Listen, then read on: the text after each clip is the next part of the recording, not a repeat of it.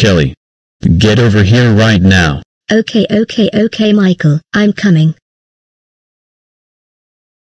Oh no. Michael, why are you angry? Kelly, I'm out of patience right now. How dare you stand in the kitchen?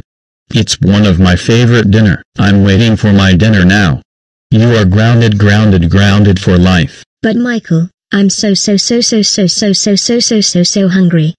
I don't care. And now you're being punished for that. Go to your room now. But Michael, Now. I'm hungry.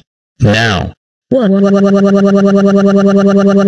I hate you, Michael. Now I'm going to my room and play Icy Tower on my computer.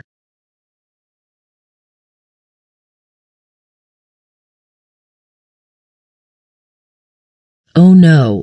Kelly, why are you crying? Michael grounded me when I'm waiting my dinner but he grounded me anyways. Oh no. Thank you for telling me this, Kelly. Stay calm, Kelly. You don't want to see this. It's going to be cool.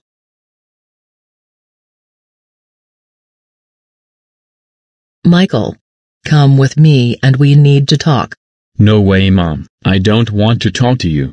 I'm serious, Michael. You better come out. It's easy. I said no, I'm not talking to you, and that's an order. Michael. If you don't talk, I'm going to send you to the closet. Fine. Michael.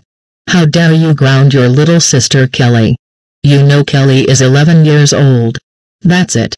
You are grounded, grounded, grounded, grounded, grounded, grounded, grounded for three days.